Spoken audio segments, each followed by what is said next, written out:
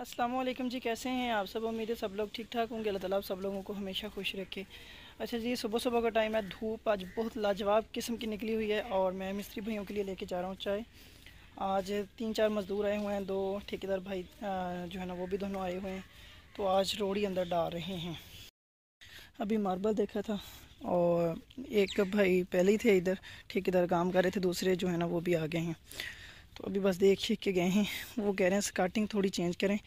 मोटी स्कार्टिंग लेके आएँ। मैंने कहा, ये इधर से यही मिली थी, दोबारा मैं पता करवाता हूँ। इसका इशू बन गया थोड़ा। बाकी हर चीज़ वो कहते हैं ओके हैं। अभी ये वाली ट्रॉली जो है ना ईंटों की ये भी कटाई करवानी है, रोड़ी बनवानी है इसकी।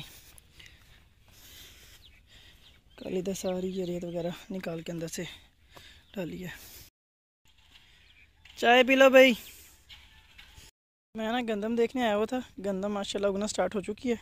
और ये चीज़ चेक करें आप। ये वाली चीज़। गंदम उगना स्टार्ट हो चुकी है माशाल्लाह से। और सामने सरसब्ज खेत जब ये होगा और वो सामने। और मिस्त्री भी भाई भी आ चुके हैं। प्लस्तर भी स्टार्ट कर देना उन्होंने। दो तीन दिन में जो है ना, इंशाल्लाह अंदर वाले फ़र्श का काम फाइनल होगा। उसके बाद जो है ना, फिर इंशाल्लाह चार दीवारें। वो कह रहे हैं कि चार दीवारी भी साथ स्टार्ट करवाते हैं। मैं और अबू जी ने मारे, हमने कहा नहीं। पहले अंदर का काम फाइनल करें, उसके बाद चार दीवारी का काम फाइनल करके फिर जो है ना मार्बल लगाएँगे। का टाइम है और आज रोड़ी वगैरह का काम तकरीबन तकरीबन जो है ना, वो फाइनल समझें, होने वाला है। थोड़ी सी कुटाई की उन्होंने, बाकी सारा दिन जो है ना, वो बजरी वगैरह सॉरी ये बज्जर तो नहीं है रोड़ी कह सकते हैं, इसे बज्जर दूसरा होता है। ये डालते रहे हैं वो। इस कमरे में भी उन्होंने डाला है, ये सारा। इधर भी डाल दिया उन्होंने, ये सारा। ठीक हो गया जी, इधर भी चेक कर लें। ये सारा उन्होंने डाल दिया हुआ है इधर।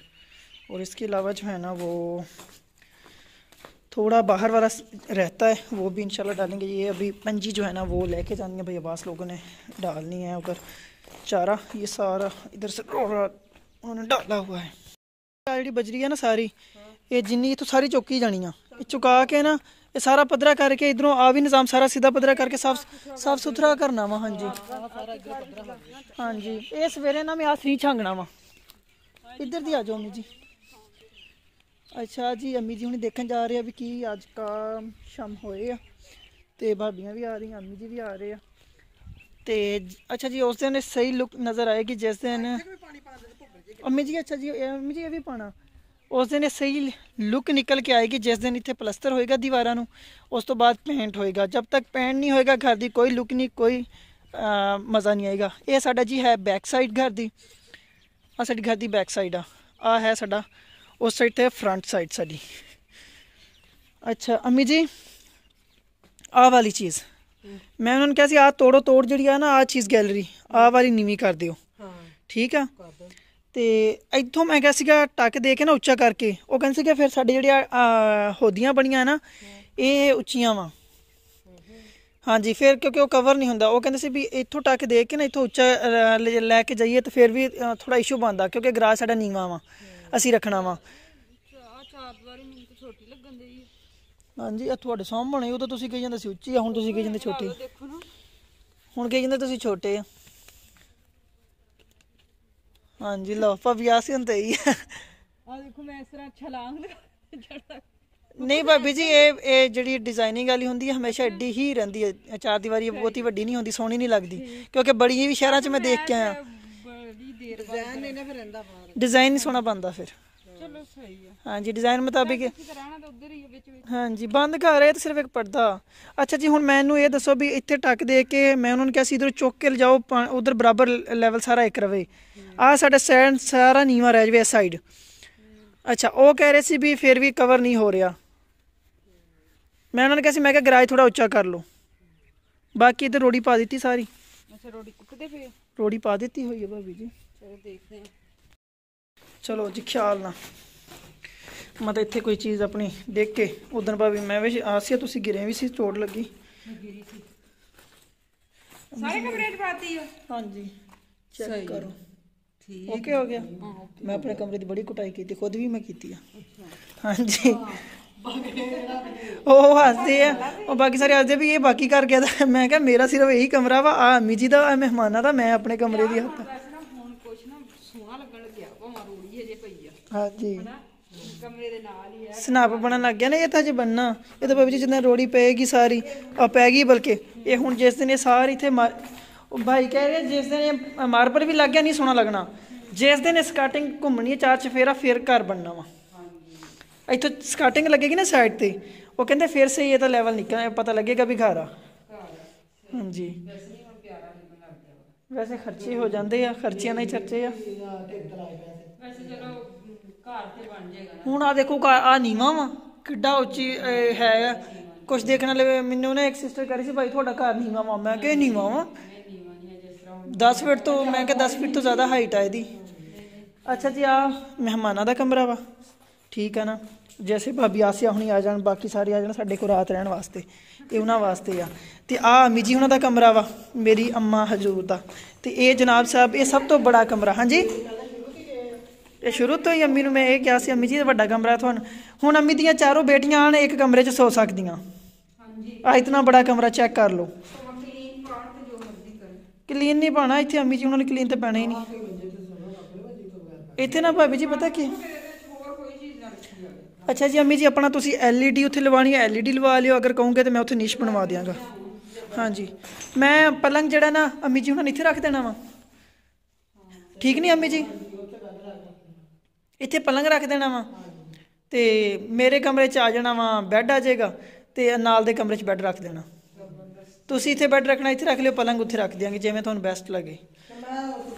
ਅੱਛਾ ਜੀ ਆ ਅਮੀ ਜੀ ਉਹਨਾਂ ਦਾ ਅਟੈਚ ਵਾਸ਼ਰੂਮ ਬਣਵਾਇਆ।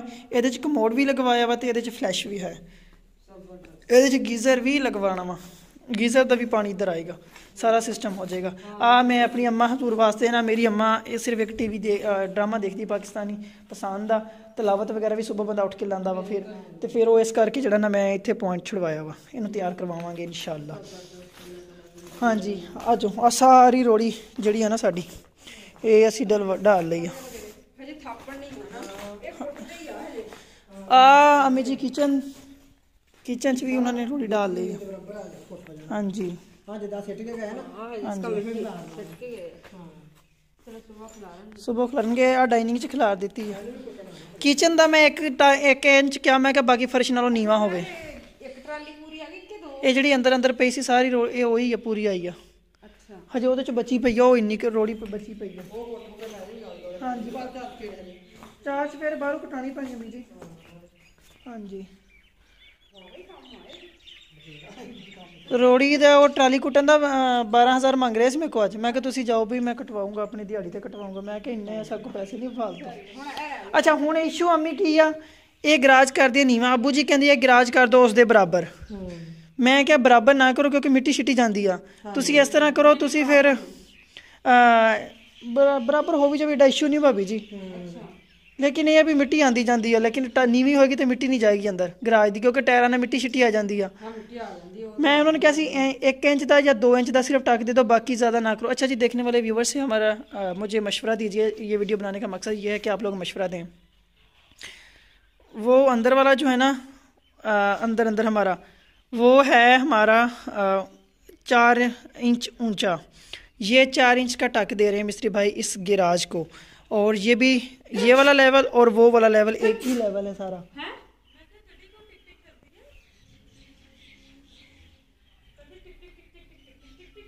ਅੱਛਾ ਅੱਛਾ ਅੱਛਾ ਅਮੀ ਜੀ ਆ ਦਾ ਤੇ ਉਹਦਾ ਲੈਵਲ ਇੱਕ ਕਰਵਾਇਆ ਉਸ ਕਮਰਿਆਂ ਦਾ ਤੇ ਇਸ ਕਮਰੇ ਦਾ ਇੱਧਰ ਹਾਂਜੀ ਇੱਧਰ ਵੀ 4 ਇੰਚ ਆ ਵੀ 4 ਇੰਚ ਅ, ਨੀਵਾਂ ਰਹੇਗਾ ਤੇ ਗੈਲਰੀਆਂ ਉਹ ਕਹਿ ਰਿਹਾ ਕਿ ਆ ਮਤਲਬ ਆ ਗਰਾਜ ਤੇ ਆ ਸੇਨ ਜਿਹੜਾ ਨਾ ਸਾਰਾ ਇਹ ਇੱਕ ਲੈਵਲ ਕਰਵਾਓ ਇਹਦਾ ਇਹ ਨੀਵਾਂ ਰਵੇ ਗੈਲਰੀਆਂ ਤੇ ਆ ਅੰਦਰਲਾ ਲੈਵਲ ਜਿਹੜਾ ਨਾ ਇਹਦੀ ਸਲੋਪ ਪਿੱਛੇ ਨੂੰ ਦਿਓ।